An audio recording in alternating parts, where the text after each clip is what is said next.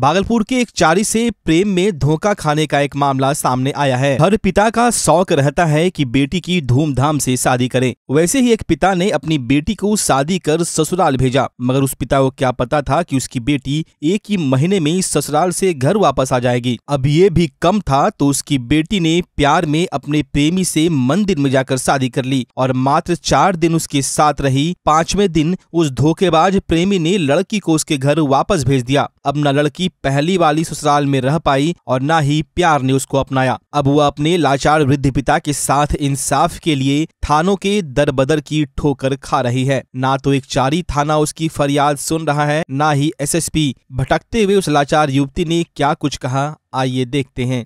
मामला है कि हम जिससे प्यार करते थे वो लड़का बोला, हम तुमसे प्यार करते हैं, रखेंगे, शादी करेंगे, ज़िंदगी भर, तुम ना आएगी तो हम मर जाएँगे। इसे उसे बोला तो हम उसके साथ चल गए। बीस तारीख को रात में वो हमको लेके हट गया। वहाँ पे रखा, तेईस तारीख को कमरे में शादी कर लिया। और वो घर आ गया। बोला कि हम एक घंटों में वापस लौट के आ जाएँगे। वो उस दिन ना आया। रात भर हमको अकेले वहीं छोड़ दिया बारात में। तो फिर चौबीस तारीख को आया दस ग्यारह बजे के आसपास। और वो आया मतलब उसके घर वाला सब गाड़ी वाला लेके नौ आदमी आया। वो सबने मिलकर बोला कि मम्मी पापा को समझा समझा दिए हैं घर लेके जाएँगे। और वो वहाँ लेके गया। वो मलकपुर में रखा। फिर शाम हुआ उसके बाद लेके आया। फिर पैती के बाहर घर बन रहा था वहीं रखा। दस ग्यारह बजे के बाद फिर हमको अपना मम्मी पापा के घर पहुँचा दिया। बोला कि दो महीना अपने मम्मी पापा के यहाँ रहो। उसके बाद हम घर बनाएँगे, तुमको फिर लेके आएँगे। और उसके बाद अभी बोल रहा है कि नहीं रखेंगे, दूसरा शादी करेंगे। ऐसे उसे बोल रहा है तो हम चार तारीख को थाना में केस किए। तो केस किए तो वो फिर नौ तारीख को कहलगाँव लेके आया, अथी डॉक्टर में जाँच करने के लिए। फिर दस तारीख को भागलपुर कोर्ट लाया। उसके बाद ऐसे घर भेज दिया, मम्मी पापा के यहाँ बुला, रहो। हम पकड़े पकड़ के उसको लाएँगे। अभी तक कुछ हुआ ना क्या चाहती क्या हम तो चाहते हैं नीरज कुमार के साथ शादी करके उसी के साथ रहना। वही है कि बेटी शादी करना चाहता है तो और क्या मामला है? अब तो उनके साथ गई तो जाके शादी करे रखे वो। किसके साथ शादी किया बेटी? नीरज मंडल के साथ। अब क्या हुआ? है? वो आखिरी नहीं रखना चाहता और क्या हुआ? क्या नाम है लड़का का? लड़का का नाम नीरज मंडल है। घर कहाँ उसका? घर सिमरिया चटैया है। शादी आपकी बेटी की थी प्यार था क्या पहले हाँ तो प्यार भी किया जाकर सिंदूर दिया देखते ना यहाँ हाँ, फ़ोटो हाँ। में भी दिया है यहाँ। सिंदूर दिया है यहाँ पर देखिए। चल भाग गया। है और लेके गया तो?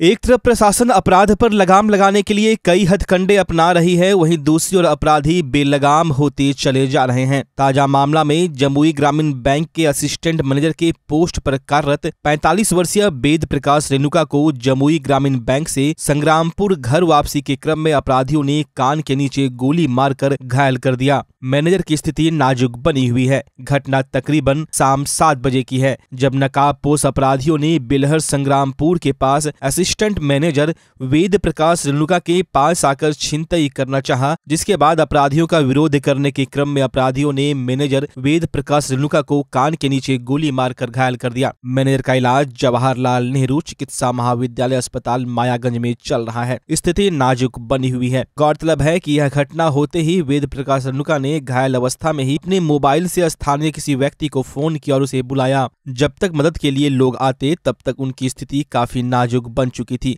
आनंद फानन में परिजनों ने उसे भागलपुर के मायागंज अस्पताल में इलाज के लिए लाया। मैनेजर वेद प्रकाश प्रत्येक दिन अपने बैंक जमुई से घर वापस आया करते थे और आने के क्रम में अपने ग्राहकों से तहसीलदारी भी किया कर अनुमान लगाया जा रहा है कि अपराधियों ने पैसा व मोटरसाइकिल छीनने की योजना पहले से बना रखी थी।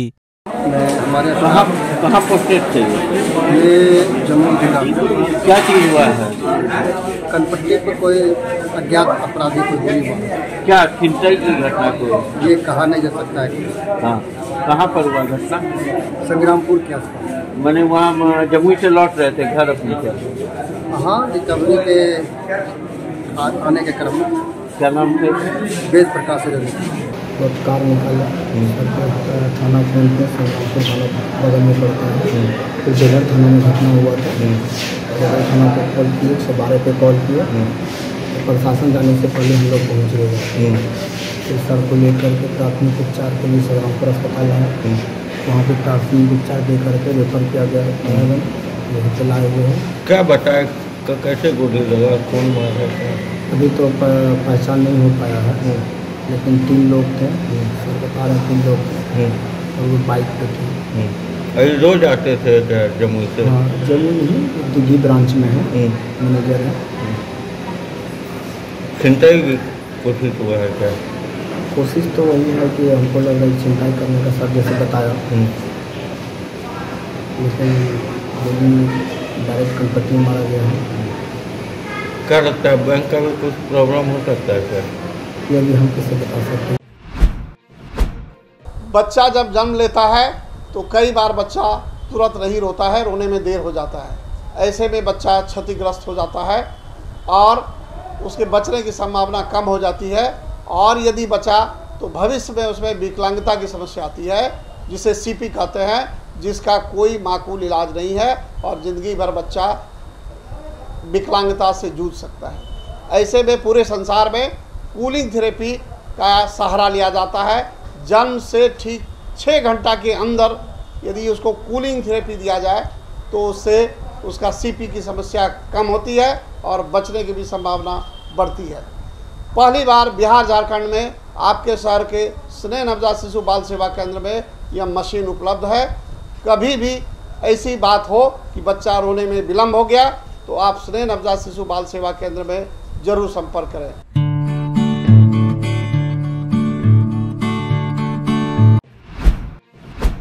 भागलपुर के कहलगांव प्रखंड में प्रेम प्रसंग में एक नाबालिग जोड़े को शादी करवाने का मामला प्रकाश में आया है। दरअसल दोनों कई महीनों से एक दूसरे के साथ इस कदर प्यार में ढलते चले गए कि दोनों कब एक दूसरे के हो गए, दोनों को पता भी नहीं चला। वहीं दो तीन दिन से इन दोनों का फ़ोटो किसी अज्ञात के द्वारा सोशल मीडिया पर वायरल कर दिया गया, जिससे लड़की के परिवार वाले आग बबूला हो गए और लड़के के परिवार वालों को भी इसकी सूचना दी गई, जिसके बाद कई घंटों तक दोनों परिवार वालों में जमकर बवाल हुआ, लेकिन लड़की के परिवार वालों का कहना था कि जब लड़की का फ़ोटो इसके साथ वायरल हो ही गया है तो इस लड़का को शादी करना ही होगा। वहीं इस हंगामा के बीच कई ग्रामीण भी शामिल हो गए, जिसके बाद सैकड़ों ग्रामीण बालों के साथ कहलगांव गंगा घाट के चार धाम में पहुंचकर हंगामा करना शुरू कर दिया। लेकिन लड़का के परिवार वाले इस शादी को करने से इनकार करते रहे, लेकिन हंगामा के बाद लड़की को बुलाया गया और सैकड़ों लोगों के बीच शादी कराकर विदाई करा दी गई। लड़का खुशी खुशी शादी करके लड़की को अपने घर ले गया। आपको बता दे, दोनों लड़का लड़की नाबालिग है। लड़का का उम्र महज सोलह साल है जबकि लड़की पंद्रह साल की है।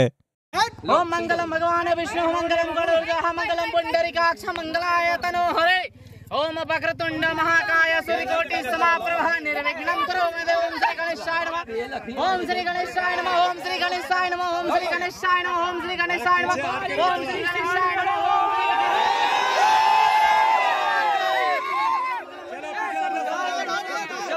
पाँच बार पूरा। पाँच बार पूरा राजा राजा को राजा शंकर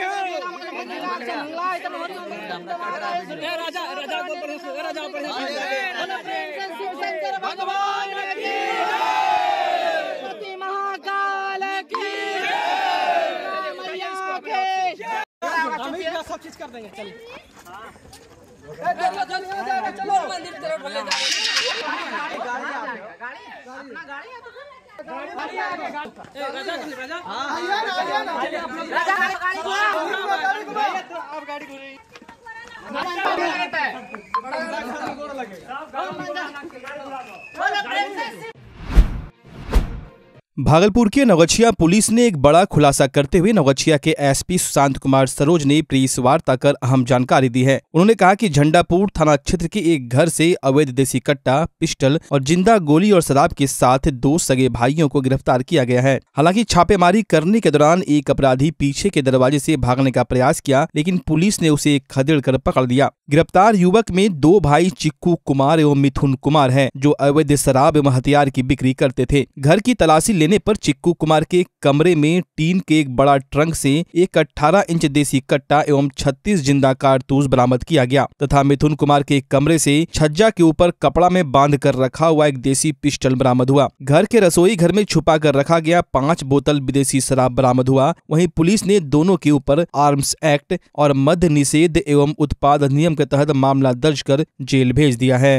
कल शाम को ये गुप्त सूचना प्राप्त हुई। झंडापुर थाना अंतर्गत मड़वा ग्राम में दो भाई हैं, मिथुन और चिक्कू। पेशर संजीत कुमार, उर्फ़ बुलटूरा। अवैध शराब और हथियार का कारतूस का खरीद बिक्री करता है। जानकारी मिलते ही एस एसआईटी गठन किया गया। इसमें थाना प्रभारी झंडापुर ओपी अजीत और ALTF Birpur SI Kashyap team को बनाया गया और तत्क्षण दोनों जाकर के छापामारी छापामारी करने क्रम में चीकू जो है वो घर से भागने का कोशिश किया। उसे गिरफ़्तार किया गया और तलाशी में उसके पास एक कट्टा बरामद हुआ। और जो घर का तलाशी लिया गया, ये हथियार देख रहे हैं हथियार देख रहे। और जो दूसरा भाई, उसका मिथुन है। मिथुन के कमरा से छज्जा के ऊपर में एक देसी पिस्टल भी बरामद कपड़ा में बंधा हुआ था, बरामद हुआ।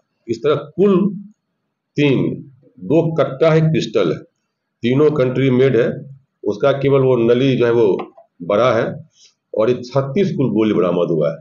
और कुल पाँच ये शराब का भिन्न ब्रांड का बोतल बरामद हुआ है, जिससे ये हथियार गोली और शराब लिया गया था। उसका भी नाम बताया है, अपराधी।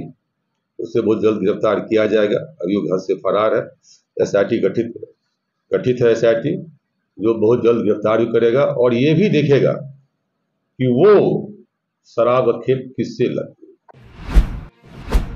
पीरपैती के टोपरा गाँव के निवासी अजीत तिवारी के पुत्र अभिनव कुमार ने डीएसपी बनकर अपने प्रखंड का नाम रोशन किया है। उनके दादा रामदेव तिवारी खुशी से फूले नहीं समा रहे। अभिनव कुमार एक साधारण परिवार के हैं, उनके पिता एक किसान हैं। अभिनव ने यूट्यूब से पढ़ाई कर डीएसपी बनने का सफ़र तय किया है। वही उनकी माँ ने बताया की चार बहनों का एक भाई है। अभिनव की माँ बोलते बोलते भावुक हो जा रही थी। वही शिक्षक छवि ने खुशी ज़ाहिर की और कहा की हमारे समाज के लिए गर्व की बात है। मैं एक शिक्षक हूँ, बच्चे आगे बढ़ते हैं तो सबसे अधिक खुशी शिक्षक को ही होती है। पैसा की तो बहुत तंगी थी लेकिन थोड़ा बहुत कभी कभी ट्यूशन पढ़ा लिया करते थे पटना में रहते थे तो वहाँ जब चले गए तो यहाँ से नहीं पुर पाता था चाचा जी से भी तो कभी कभी ट्यूशन पढ़ा लिया करते थे साइड से एक दो घंटे जाकर हम ट्यूशन। यूट्यूब यूट्यूब दूसरा कोई सहारा ही नहीं था करते क्या? उतना पैसा था ही नहीं जो कोचिंग में जा पाते।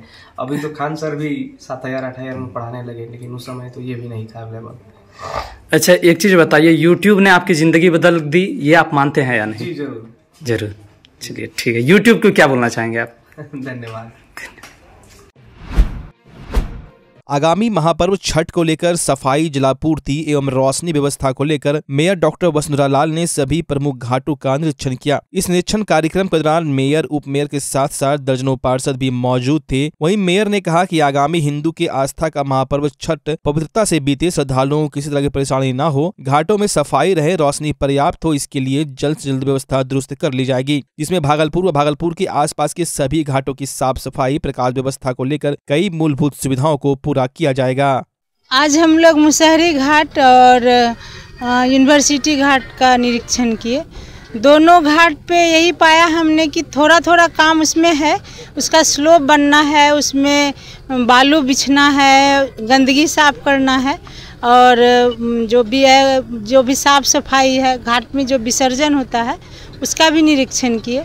वो घाट वो भी अच्छे से बना नहीं है, उसको अभी समय है। वो बन जाएगा और काली पूजा का मूर्ति का जब उसमें विसर्जन हो जाएगा तो छठ के लिए उसको भर दिया जाएगा मिट्टी से और बराबर करके फिर जो आने वाले हैं छठ में, उन सबको किसी तरह की परेशानी नहीं होगी, सबको सुविधा मिलेगी और अच्छे से वो छठ पूजा एंजॉय करेंगे। ये हमको लग रहा है कि बहुत अच्छा इस बार रहेगा।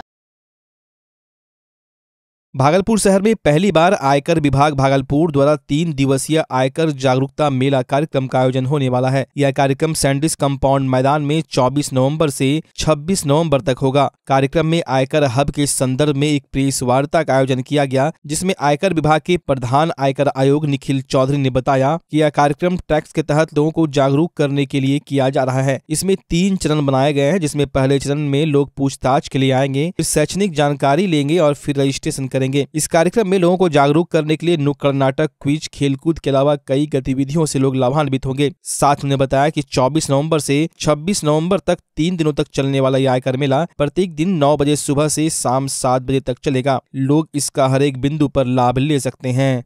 कर सकें कि नवंबर 24th, 25th और 26th को भागलपुर में केंद्रीय प्रत्यक्ष कर बोर्ड द्वारा एक टैक्स पेयर हब सेटअप होने वाला है। आ, ये टैक्स पेयर हब देश के सात शहरों में सेटअप हो रहा है। राजस्थान में भीलवाड़ा केरला में कोजिकोड विशाखापट्टनम में ये आंध्र प्रदेश में विशाखापट्टनम उड़ीसा में कटक मेघालय में शिलोंग उत्तर प्रदेश में झांसी और गोरखपुर और बिहार में, भागलपुर में। ये तीन दिनों के लिए टैक्स पेयर हब सेटअप होगा। इसका मुख्य उद्देश्य है कि यहाँ के लोगों के बीच में टैक्स पेयर अवेयरनेस बढ़ाना, ताकि लोग अपने राइट्स एंड अपने रिस्पॉन्सिबिलिटीज़ के बारे में जागरूक हों। इस टैक्स पेयर हब में ये सैंडीज कंपाउंड के बाहर ये सेटअप होगा। और इस टैक्स पेयर हब में तीन कियोस्क होंगे। सबसे पहले वहाँ एक इंफॉर्मेशन कियोस्क होगा कि जहाँ की लोग जा कर के अपने जो भी सवाल हैं, उसके वो आंसर्स पा सकें, जो भी उनके मन में शंकाएँ हैं, उसके, उसको जाके वो वहाँ क्लियर कर सकें। इसके अलावा वहाँ पर एक एजुकेशनल कियोस्क होगा। डिपार्टमेंट के पास बहुत सारा एजुकेशनल लिटरेचर है, बहुत सारे समस्याओं पर, बहुत सारे इश्यूज़ पर, बहुत सारे कैटेगरीज ऑफ़ टैक्स पेयर्स के लिए। तो वो एजुकेशनल कियोस्क पर उनको वो सारा मटेरियल मिल जाएगा। एंड फाइनली वहाँ पर एक ग्रीवांस कियोस्क होगा, जहाँ पर अगर किसी के पास कोई ग्रीवांस है तो वो जा कर के उसको वहाँ पर रजिस्टर करा सकता है, या अगर उसने कोई पहले ग्रीवांस रजिस्टर कराया है तो वहाँ पर जा कर के उसका रिड्रेसल वो करवा सकता है। ये सारे कियोस्क जो हैं डिपार्टमेंट के ऑफिसर्स मैन करेंगे। इसके अलावा टैक्स हब में एक चिल्ड्रंस कॉर्नर भी रहेगा, क्योंकि हम लोग का एक बहुत बड़ा मकसद है कि हमारे जो बच्चे हैं, जो कल के फ्यूचर टैक्स पेयर्स हैं, कल के फ्यूचर एम्प्लॉज़ हैं, कल के फ्यूचर बिजनेसमैन हैं प्रोफेशनल्स हैं तो उनको नेशन बिल्डिंग के लिए कैसे हम जागरूक करें टैक्स पेमेंट के लिए कैसे जागरूक करें कि उनका ये एक राष्ट्र कर्तव्य और ड्यूटी है। तो उनके लिए हम लोगों ने एक चिल्ड्रंस कॉर्नर भी रखा है टैक्स हब में। इस चिल्ड्रन कॉर्नर में बहुत सारे गेम्स होंगे कॉमिक्स होंगे, वहाँ पर एक मैजिक शो होगा, वहाँ पर नुक्कड़ नाटक भी होगा, वहाँ पर साइड बाय साइड और क्विज कॉम्पिटिशन्स पेंटिंग कॉम्पिटिशन्स भी ऑर्गेनाइज किए जाएँगे। हम लोगों ने भागलपुर के स्कूल्स को रीच आउट किया है।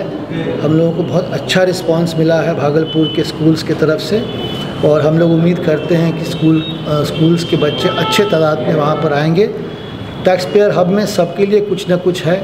अगर प्रोफेशनल्स हैं तो वो भी जा सकते हैं वो भी अपनी क्वेरीज़ की जानकारी ले सकते हैं। अगर जनरल जागरूक सिटीज़न है जो कि जानना चाहता है अपने अपना इन्वेस्टमेंट प्लानिंग के लिए तो वो भी वहाँ जा सकता है और वहाँ पर इंफॉर्मेशन ले सकता है।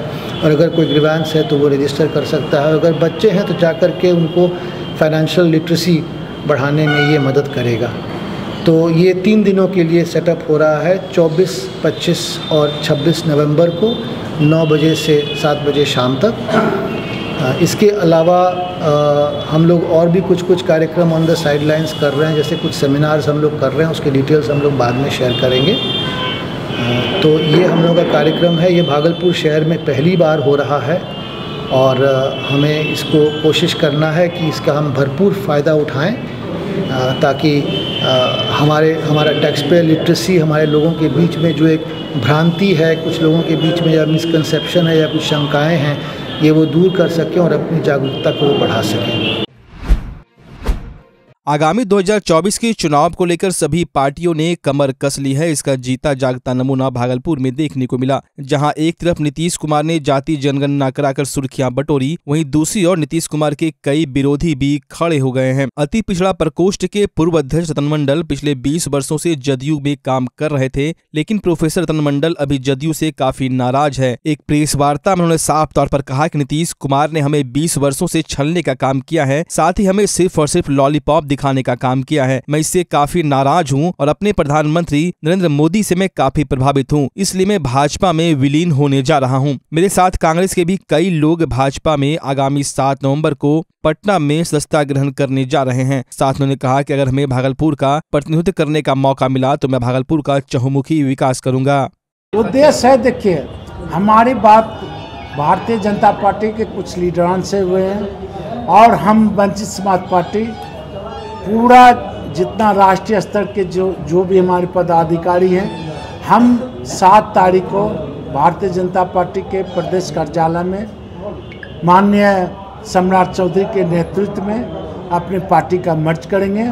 उसमें हज़ारों की संख्या में हम भागलपुर से और डिफरेंट जगह से बिहार के कोने कोने से आदमी आ रहे हैं और उसमें बहुत ऐसे आदमी हैं जो कांग्रेस के भी हैं, जो राजद राजद से हैं। और जदयू से जो हमारे संपर्क में आपको पता है हमारा नेटवर्क हमारे लोग बहुत जगह है और हमारे साथ वो भी अपना मर्ज करना चाहते हैं। 2024 में साथ में काम कीजिएगा आप सब मिलकर हम जिससे काम करना के जब उसके साथ हम ज्वाइन कर रहे हैं तो काम करने को उसके जी जब तक मेरी ज़िंदगी है तब तक उसके साथ काम करेंगे। इसके बाद पाला बदलेगा क्या बीजेपी के बाद? नहीं नहीं पाला देखिए आपको पता नहीं है। हम किसी के साथ चल रहते हैं मर्दानगी से रहते हैं। हम बाईस साल तक नीतीश कुमार के साथ रहे हमको क्या मिला? अगर हम उसको छोड़े तो उसके पीछे कारण है। और ऐसा थोड़ा है अगर हमको प्रॉपर सम्मान देता तो आज हम कहीं नहीं जाते। और उसकी नीति नियत स्पष्ट नहीं होती तो हम नहीं जाते। अति पिछड़ा के साथ न्याय नहीं करता अब नहीं जाते। क्या लगता है बीजेपी में सम्मान मिलेगा? निश्चित मिलेगा।